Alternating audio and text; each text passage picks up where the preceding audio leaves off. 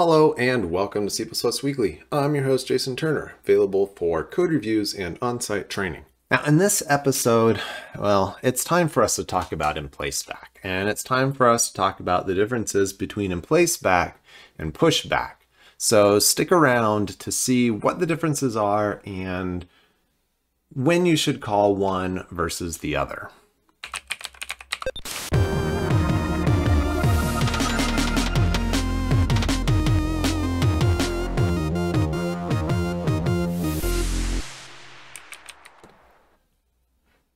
All right, so emplace back was added to our standard containers in approximately C++ 11. No, I'm just kidding. In exactly C++ 11. They were added to our, our standard containers. So we've got in vector, we've got the ability to do something like this.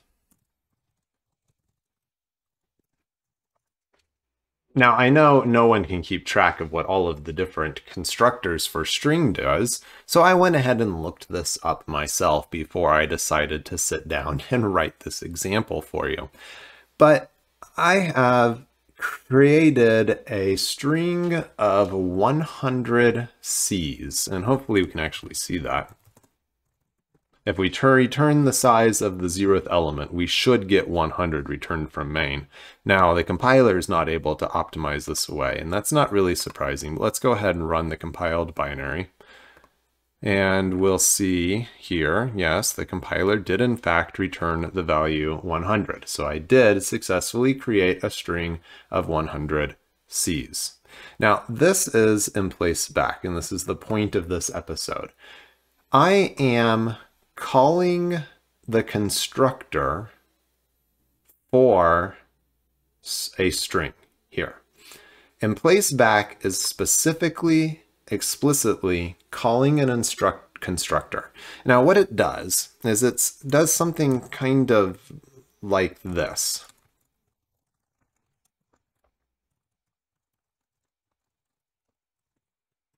I mean, it's not really complicated, but effectively it resizes the vector to create a space for this new string to live, and then it calls placement new at that memory location with those arguments. And uh, that should be basically what we're seeing here. Let's see now.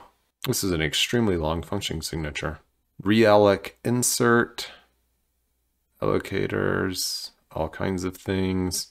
And then, well, we then we see that it's got rvalue references to an int in a char, which is, well, yes, that is in fact what we passed in, an int in a char.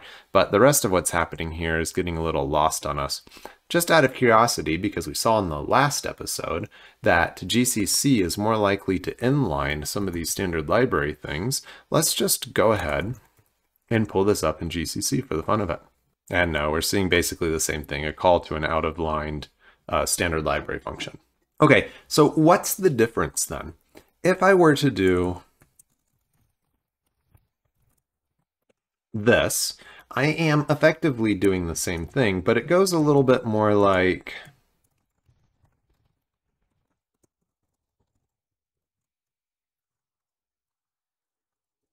At least theoretically, it does something more like this. It's going to create a temporary string for this parameter here that's being pushed to passed to push back. And then it is going to resize the vector so that it has a place to put this. And then it's going to move that temporary string into the new memory location. So at least plausibly, the in-place emplaceback version should be faster. And if we do the third option, which would look something like this, this is objectively just simply the wrong way to use emplace back. I am emplacing back a string. So this is going to do something, um, it's going to do effectively the same thing here. But now when it calls this placement new, it is not calling the constructor that takes two arguments. It is calling the move constructor. So depending on what we're doing, it's possible that this version of emplace back is actually less efficient. It's possible that this version is more efficient, but it's generally agreed that you call pushback. Call pushback when you already have an object, and you should call emplace back when you want to create a new object of a particular type, whatever the contained type is in that vector. Uh, I think it's probably worth doing a quick bench and seeing if we see any performance differences between these. Now, I think we probably want to get rid of the overhead of actually allocating space for the vector. So let's go ahead and see what we see with these different options. Now, I'm just going to say right off the start here that there's a very good chance that, uh, I mean, there's a million different ways of calling this with different sizes of objects and everything. So we're just, the example that we're looking at is going to have two heap allocations per iteration. And then we're going to be trying to just measure, if we can measure, the difference between the different ways that these objects are actually inserted into the container. Now, if we just have unbounded growth of our vector while these things are executing, that's not going to do us any good. So I am going to create the vector locally here. All this growing and resizing of the vector, uh, if, if it were created outside of the benchmark loop, would definitely create a problem for us. All right, so let's see what happens here. All right, uh, what? I mean, we're seeing almost nothing meaningful here. These things are effectively the exact same speed by the time we take into account differences in running this on the server with Clang. Uh, so we haven't really seen gained anything from a performance perspective. Now this is with full optimizations turned on. We will do another build with GCC and then we will try pushing back more than one thing or emplacing back more than one thing to see if we can come up with any kind of meaningful difference here. I'm afraid that we're actually just measuring the time that it takes to create a vector and allocate space for a string, really. Okay, here we go. This is interesting. So on GCC, we actually are seeing a difference, and we're seeing that the emplace back version is actually the slowest option. That's not very useful now, is it?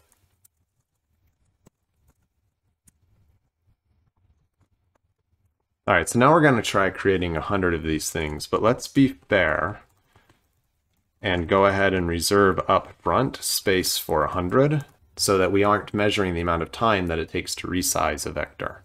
And just for the record, it makes absolutely no sense at all that pushback of a temporary should be faster or slower than emplace back of a temporary. They should both be calling the exact same move constructor for the object.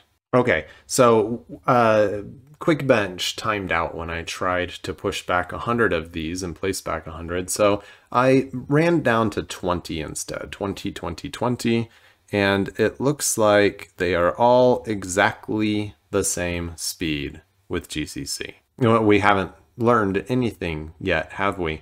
Let's go ahead and just for the fun of it, take it down to like 01. Let's pretend like, actually, let's do OG. Let's pretend like this is a debug build. All right, so in a debug build, the emplace back version, hey, look at that, is actually now the faster one.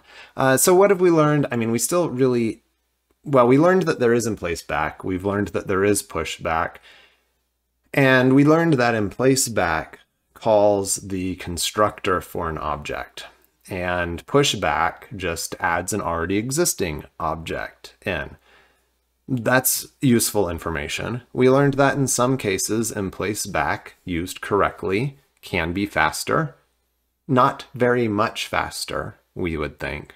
But I think the key takeaway here is that the correct time to use it, just like I showed in the other example, we use emplace back when we want to construct a new object. And we use pushback when we already have an object. Now I'm going to end up tending to prefer emplace back because well, in this kind of situation here, and let's just do one more quick benchmark just to prove a point.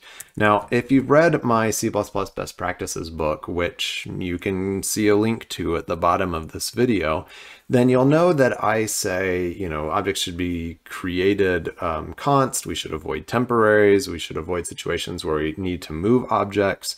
So let's just go ahead and do this version, which I find people are more likely to do. And let's going to do uh, a couple of different options here real quick. We're going to push back a local by copy, and we're going to push back a local by move. Now, I regularly try to encourage students and people on this channel to think about the lifetime of the objects that you're working with. And I've got a pushback of a local string by copy and someone comes by and says, no, wait, you really should be doing a move here. So I've got one by copy, one by explicit move, and then we'll be able to compare this with the emplace back, the pushback of the temporary that is just on the stack, and the emplace back of the temporary. And we might be overloading quick bench. We'll see what happens. Yeah, we overloaded our quick bench by trying to have too many long running tests in here. I want to try to keep everything. Let's see what we can remove. Let's remove the emplace back temporary. That one we never saw very much difference in. And let's remove the local temporary. So we've got or the, the stack temporary. So we've got local by copy, local by move, and emplace back. Because I find it's, you know, fairly often that we actually see code like this, and we've seen that largely the other versions are equivalent. So if we see a large difference between this and the emplace back version, then we know that we are onto something. All right, yeah, this is definitely interesting. Now, I know some people will point out that emplace back used incorrectly can actually be a performance problem, but pushback used incorrectly can even be more of a performance problem. So if we use the in place back version here, it makes it much easier to stick to our best practices. And we see that we can get something that's, well, twice as fast as the push back by copy because we're making a copy of a large string here each time, and actually a little bit faster than the push back by local move. And like I said, if you've read my best practices book and stuff and, and watched any of my conference talks, you know I'm not going to prefer this version because I think that move is a code smell. And this is clearly semantically uh, and syntact syntactically the superior option when we know that we're trying to create a new object and those are the parameters that we want to pass to the constructor. It is clear about the intention of the code and it gives us the best performance in this particular case. And I will just run one more with optimization turned all the way up.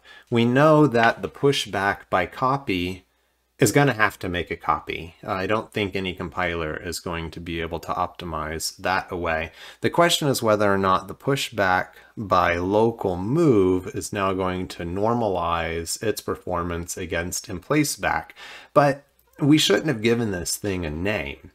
A local non-const object that we just immediately move into place that should just be an unnamed thing, and emplace back gives us a great tool for doing that. And I know there's lots of people that are going to disagree with me on when and where to use emplace back, but I think by showing you all of the different options here, uh, you'll be able to make your own decisions and maybe come up with guidelines in your own code for when it is the best thing to do. And this is also just vector. We do have emplace back and well, try emplace and several other things with all of our different standard libraries. So let's just go ahead and take a look. We ended up with 1.9 times. Uh, so yeah, push back by local move is approximately the same speed as the emplace back, and the pushback by copy is, well, it's a really bad one. Now, remember, you can't move a const object. So if you find yourself doing something like this, where you've got a const standard string, and then you're doing move, there's a good chance your compiler and your tools aren't going to warn you And this is going to go bad times for you because this is the same thing as a pushback by local copy. So again, another reason to at least consider that if you know you're calling the parameters of a constructor, using emplaceback might be your best option. Yeah, so the pushback by local move, and in this case from a const object, is exactly the same as pushback by copy because the compiler had to generate a copy here, and emplace back is still doing what we wanted it to do. So yeah, I've covered a lot of things in this episode. Uh, take from it what you will, and you know just understand what you're asking the compiler to do. And thank you for watching this episode of C++ Weekly.